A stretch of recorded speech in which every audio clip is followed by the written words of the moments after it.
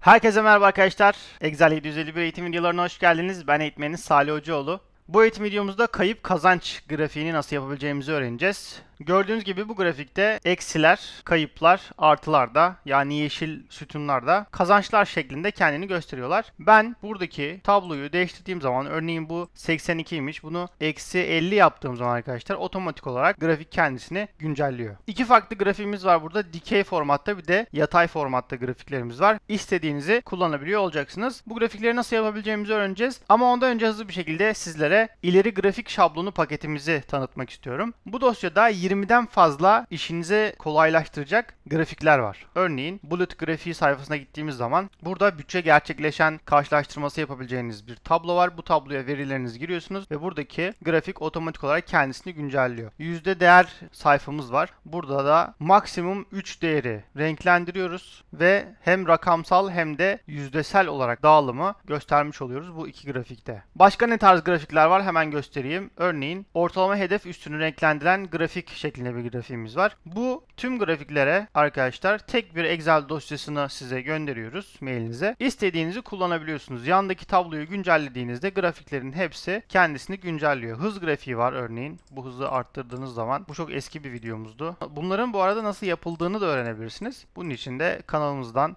arattığınız zaman ilgili videoya gidebilirsiniz. Evet arkadaşlar bu paketin içerisinde bu şekilde 20'den fazla grafik var. Bu grafikleri indirdiğiniz zaman bu dosyaya sahip oluyorsunuz ve istediğiniz zaman istediğiniz grafiği kullanabiliyorsunuz. Şimdi değerli arkadaşlar isterseniz hep birlikte kayıp kazanç grafiğini nasıl yapabileceğimizi öğrenelim.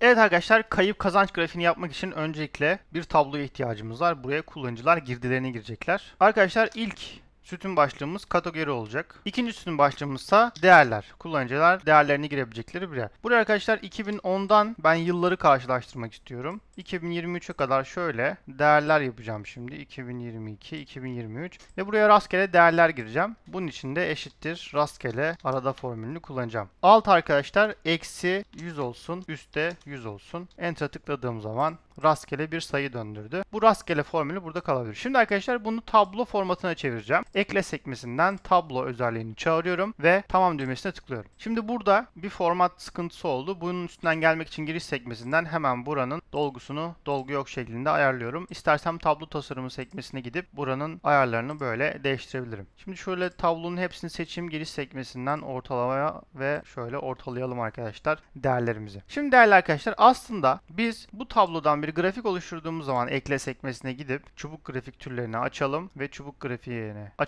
arkadaşlar. Böyle bir grafik karşımıza çıkıyor. Hemen şöyle veri seç diyelim. Kendimiz seçelim verileri. Olmadı. Kategoriler arkadaşlar. Bunlar doğru. Değerlerse Bunlar evet kategorilere buraya yanlış koymuş. Düzenle deyip buraya arkadaşlar kategori isimlerini aslında buraya getirecektik. Tamam düğmesine tıkladım. Evet. Aslında çok hızlı bir şekilde oldu bakın. istediğimiz grafik yapısı. Kelebek grafik diyoruz buna bu arada. Yani kelebeğe benziyor. Kelebek biraz daha belki kategorileri karşılaştırdığımız bir grafik türü. Ama bu da kelebek grafiğe benziyor. Çünkü sütunlar sağa sola doğru ayrıştırılmış. Şimdi arkadaşlar bu veri etiketin üzerine tıklıyorum. Bu eksen üzerine tıklıyorum. Ve etiketler başlığı altından eksen yanında değil de yüksek seçeneği seçiyorum. Sağ tarafa konumlandırdı. O zaman düşüğü seçelim. Sol tarafta konumlandırmış olsun. Ve arkadaşlar sağ tıklayıp çubukların herhangi birinin üzerine veri etiketleri ekle dediğim zaman aslında verilerimin de buraya geldiğini görüyoruz. Biraz daha makyajlayabiliriz. Belki lejantı kaldırabiliriz. Aşağıdaki göstergeyi de kaldıralım ekseni. Buradakileri de kaldıralım. Artı düğmesinden kılavuz çizgilerinden birincil büyük yatayı koyalım. Çünkü zaten yatayı takip etmemiz gerekiyor gözümüzle. Peki ama buradaki sıkıntı arkadaşlar bir kere çubukların renkleri aynı. Hepsi mavi oldu. Bir de tam olarak negatif, eksi ve artıyı daha kolay görmek isteyebiliriz. Bunun için arkadaşlar yardımcı iki sütun açacağım.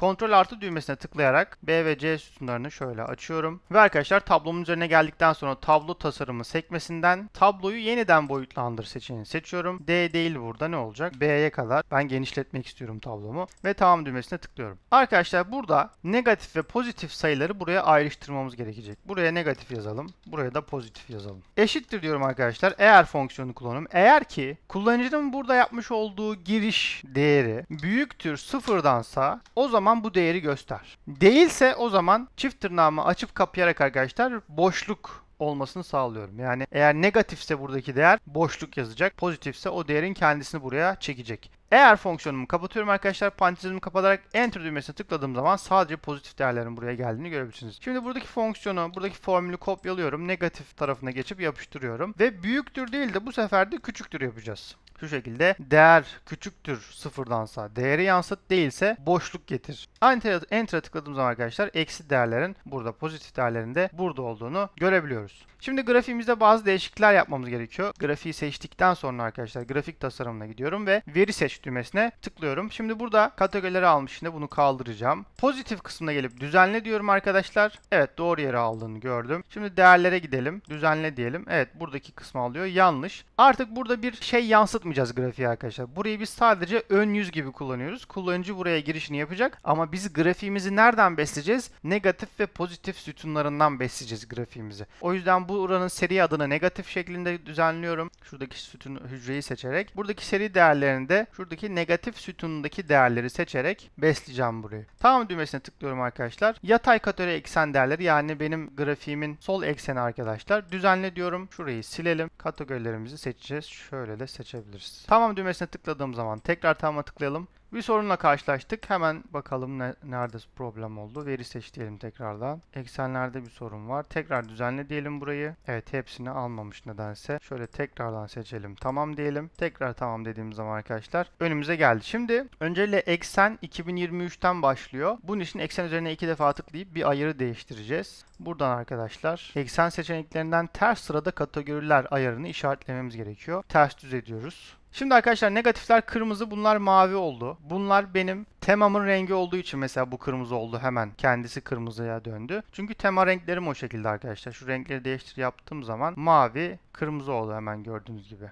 Burada aslında önce yeşil var. Şöyle tekrar bakın pozitif negatif tamam. Bunun yanında arkadaşlar Sütunlar biraz yukarı kaymış vaziyette. O yüzden sütunun birisine tıklıyorum. Seri çakışmasını %100'e getiriyorum ve ortalamış oluyorum arkadaşlar. Boşluk genişliğinde şöyle burada ayarı 90 yapacağım ve biraz daha kalınlaştıracağım çubuklarımı. Şimdi veri etiketlerini görelim. Sağ tıklayıp veri etiketleri ekle diyelim. Sağ tıklayıp veri etiketleri ekle diyelim buraya. Şimdi buradaki problemimiz sıfırlar gözüküyor. Bunun üstesine arkadaşlar biçimlendirme, veri biçimlendirmesiyle geleceğiz. Etiketlerin herhangi bir tanesine tıkladım. En sağdaki arkadaşlar etiket seçeneklerine gittim ve aşağıdaki sayı başlığını açıyorum. Buradaki sayı başlığını açıp arkadaşlar kendime ait bir biçimlendirme kodu geliştireceğim şimdi burada. Bunu yapmak için arkadaşlar öncelikle sayı kodunu ben bir alacağım buradan. Sayı seçtim. Binlik ayırıcı olabilir. Ondalık basamak 0 istiyorum. istemiyorum. Enter'a tıklayalım. Ve arkadaşlar şöyle bir kodum var. Bu benim şu anki yansıyan şu anki grafiğe yansıyan sayıların biçim kodu. Bunu kopyaladım arkadaşlar. Hatta kopyalamama bile gerek yok. Buradayken yazmaya başlayabilirim. Arkadaşlar kapalı parantezi açıp kapatıyorum ve içerisine renk 10 yazıyorum. Renk 10 arkadaşlar Visual Basic tarafında da yaklaşık 52 renk vardı hatırladığım kadarıyla. 52 renkten 52 tane böyle seri numarası renk var. 10. sıraya denk gelen rengi temsil ediyor. Hemen göstereyim arkadaşlar neyden bahsettiğimi. Evet arkadaşlar şimdi bir internet tarayıcısında VBA renk kodları yazıp herhangi bir imajı açtım. Burada arkadaşlar gördüğünüz gibi e, Excel'in kendi içerisinde tuttuğu 52 değil 56'ymış. 56 tane renk var. Bu renklerin sırası var. Sıra numarası 1 siyah, 2 beyaz, 3 kıpkırmızı,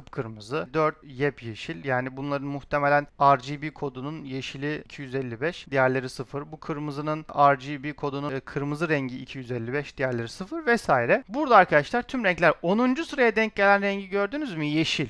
50. sıradaki de fena değilmiş yeşil olarak. 51 de güzelmiş ama ben onu kullanıyorum genelde. 10 arkadaşlar gördüğünüz gibi yeşil. Bu yüzden ben kapalı parantez içerisinde renk 10 yazdım. Şimdi dönelim Excel'imize. Renk 10 yeşil oldu. Şimdi arkadaşlar bu kısmı biçimlendirme kodunun bu kısmı pozitif rakamları temsil ediyor. Şu paneli biraz daha büyüteyim. Noktalı virgül koyuyorum arkadaşlar. Şimdi de bu kodu yapıştır kopyalayıp yapıştırayım. Negatif değerler için ne görmek istiyorum? Buranın içerisinde arkadaşlar kırmızı yazıyorum yazıyla. Bunu da anlıyor. Mavi, kırmızı, yeşil yazabiliyoruz. Sarı yazılabiliyor. Kırmızı yazdım arkadaşlar. Buraya artık kırmızı gösterecek. Renk olarak kırmızı yapacak. Ve hatta arkadaşlar ben yukarı bakan ok, aşağı bakan ok da burada yapabilirim. Hemen yine web browser'ımı açıyorum. Burada arkadaşlar down arrow char yazalım. Karakterin kısaltılmışı. Burada arkadaşlar geliyor hemen. Mesela bu geldi. Eğer beğenmezsek farklı şeylere de gidebiliriz. Mesela şu siteyi açalım. Evet bu sitede benim istediğim ok yok arkadaşlar. Biraz daha belirgin bir ok arıyorum. Evet şu olabilir mesela. Bunun arkadaşlar daha emojisiz hali. Bu emoji gibi. Bu emojisiz halini arayacağım şimdi. Evet arkadaşlar bu sitede buldum. Şunu istiyordum. Şunu hemen kopyala diyor. Kopyaladım. Excel'ime dönüyorum ve nerede görünmesini istiyorsam burada diyelim ki sayının sağında görmek istiyorum. O zaman çift tırnak içerisinde bu karakteri yapıştırıyorum. Bir de tabii yukarı bakana bulmamız lazım. Aynı sitede home sekmesine tıklıyorum arkadaşlar. Buraya da up arrow diyelim. Aratalım arkadaşlar. Bu geldi. Şöyle bir şey deneyeceğim arkadaşlar. Şuradaki down'a up yazı ya up yapacağım. Gelecek diye down yok. 404 geldi. Evet arkadaşlar web sitesine up yazdım buldum istediğim şeyi kopyalıyorum şimdi. Şunu kopyaladım. Tekrar geldim buraya. Buraya da arkadaşlar şöyle çift tırnak içerisinde kopyalayamamışım. Heh, yukarı bakanı kopyalayacaktım. Şöyle arkadaşlar yapıştırıyorum ve çift tırnağımı kapatıyorum. Sıfırlar içinse arkadaşlar sıfırlar içinse çift tırnağımı açıp kapatıyorum. Hiçbir şey yazsın istemiyorum çünkü sıfırlar için. Bu sayede bunun üstesinden geleceğim işte. Ekle düğmesine tıklıyorum arkadaşlar. Şurayı şöyle alayım ben. Ekle düğmesine tıkladığım zaman arkadaşlar gördüğünüz gibi buradaki şeyleri ayarladık. Şimdi buradaki veri etiketlerini seçiyorum. Önce o kodu ben bir kopyalayayım şuradan şöyle. Hepsini kopyalayacağım. Şimdi buradaki veri etiketlerini seçip buraya gelip arkadaşlar yapıştırıyorum. Geneli silelim. Enter'a tıklıyorum. Ekleye tıklıyorum arkadaşlar ve istediğim yapıyı elde ediyorum. Buradaki veri etiketlerini de paneli tekrar yapıştıralım şuraya. Ve arkadaşlar tabii ki bu barları da sağ tıklayıp dolgusunu kendi yeşilimden yapacağım. Paneli kapatalım. Ve arkadaşlar aslında şu anda grafiğimiz hazır. Şöyle sığdıralım alt düğmesine tıklayarak arkadaşlar grafiği hücrelere göre sığdırıyorum, boyutlandırıyorum. Bir tane grafik başlığı koyalım buraya. Grafik başlığı 12 olsun boyutu ve eğik yazılsın. Bir kopyasını oluşturacağım şimdi arkadaşlar. Alt, Ctrl ve Shift düğmesine üçüne birden tıklayarak şöyle yana çekiyorum bunu. Ve Shift Alt düğmesine tıklayarak da biraz uzatıyorum. Neden? Çünkü bunun grafik türünü değiştireceğim. Sütun şeklinde yapacağım. İster belki sütun şeklinde görmek isteyenler olabilir diye. Şimdi arkadaşlar buradaki alanları sağ tıklayıp sakladığım zaman, gizli yaptığım zaman grafikler kayboluyor. Bunun üstesinden gelmek için sağ tıklıyorum üzerine. Veri seç diyorum. Gizli ve boş hücrelere diyorum. Gizli satır ve sütunlardaki verileri göster diyorum ve tamama tıklıyorum. Tekrar tamama tıklayalım. Aynı şeyi burada da yapıyorum. Sağ tıklıyorum. Grafiğin üzerine sağ tıklıyorum. Veri seç diyorum. Gizli ve boş hücreler. Buradaki ayarı açıyorum ve tamama tıklıyorum. Şimdi diyelim ki 2015'te eksi 95 yazalım arkadaşlar. Bunların her şeyin değiştiğini görebilirsiniz. Ha burada rastgele arada formülü vardı. Onu hiç bozmadan şöyle bir test yapalım. F9 düğmesine tıkladıkça arkadaşlar rastgele arada formülünü kendisini tekrardan refresh ediyor, yeniliyor. Ve gördüğünüz gibi tüm kategorileri böyle karşılaştırabileceğimiz bir grafik ortaya koyduk. Evet arkadaşlar bugün de sizlerle birlikte kayıp kazanç grafiği yaptık. Sadece Excel'in kendi özelliklerini kullanarak internetten de bazı karakterleri almış olduk. Arkadaşlar bunun gibi Excel eğitim içeriklerinden haberdar olmak isterseniz kanalımıza abone olabilirsiniz. Bir başka eğitim videosunda görüşmek üzere. Ben Salih Hocaoğlu. Kendinize çok iyi bakın. Hoşçakalın.